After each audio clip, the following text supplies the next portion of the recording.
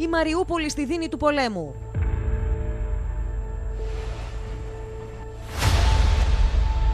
Οι βομβαρδισμοί συνεχίστηκαν καθ' όλη τη διάρκεια της νύχτας στη σκιά ενός χτυπήματος που μούδιασε την παγκόσμια κοινότητα.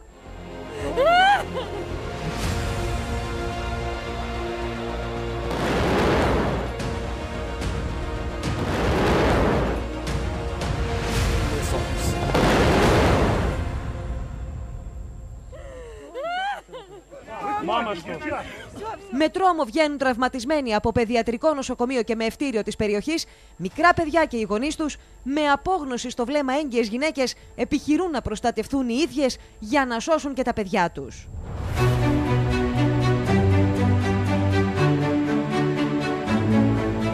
Έξι μέρες φυροκοπείται η Μαριούπολη και από την επίθεση στο νοσοκομείο οι αρχές μιλούν για τρεις νεκρούς και 17 τραυματίες.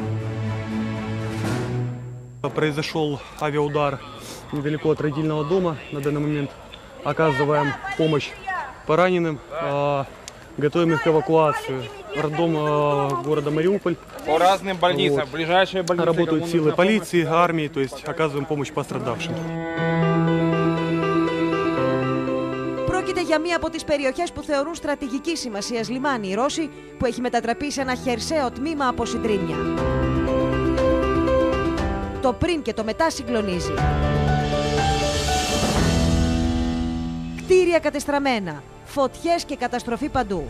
Ο πόλεμος και η ειρήνη σε ένα κοντράστ που σοκάρει.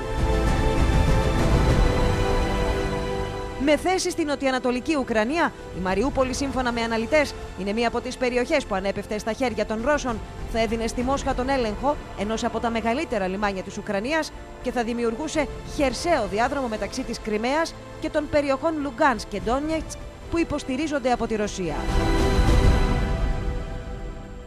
Με την ίδια ένταση συνεχίστηκαν οι επιθέσεις όλη τη νύχτα και στα περίχωρα του Κιέβου, που επίσης αποτελεί στρατηγική σημασίας στόχο για τους Ρώσους. Εν μέσω προσπάθειας για διάνοιξη ανθρωπιστικών διαδρόμων για την εκένωση περιοχών από τους αμάχους, ρωσικά αεροσκάφη πραγματοποιούν πλέον πτήσεις πάνω από την Ουκρανική πρωτεύουσα. Με τον Ουκρανικό στρατό και τους εθελοντές να συνεχίζουν τη στεναρή τους αντίσταση, οδοφράγματα έχουν στηθεί παντού, η πόλη θυμίζει οχυρό, ενώ όσοι από τους πολίτες δεν έχουν φύγει, προτρέπονται να είναι έτοιμοι να αποχωρήσουν και πάντως η διαμονή τους πλέον είναι αποκλειστικά σε καταφύγια, καθώς οι σιρήνες ηχούν ακατάπαυστα. Εν μέσω πολέμου και των όσων δραματικών καθημερινά αποτυπώνονται ως συνέπειες, οι όποιες ελπίδες για πρόοδο των συνομιλιών μεταξύ Ρωσίας και Ουκρανίας διαψεύστηκαν, καθώς οι διαπραγματεύσεις που συνεχίστηκαν σήμερα σε επίπεδο Υπουργών Εξωτερικών δεν έφεραν αποτέλεσμα. Η συνάντηση του Σεργέη Λαυρόφ με τον Ουκρανό ομόλογό του Δημήτρο Κουλέμπα ανέδειξαν το χάσμα μεταξύ των δύο πλευρών. Uh, this conversation was both uh, easy and difficult. Uh, easy because Minister Lavrov basically followed his uh, traditional narratives about Ukraine. Difficult because I did my best.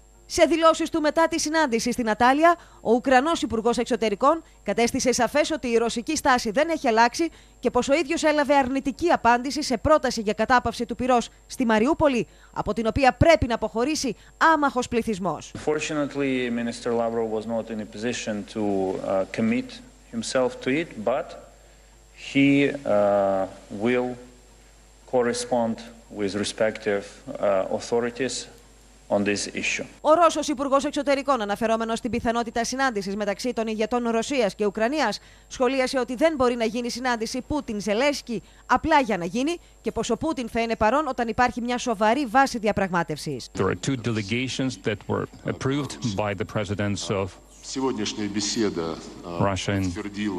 Belarus. Today's conversation confirmed that this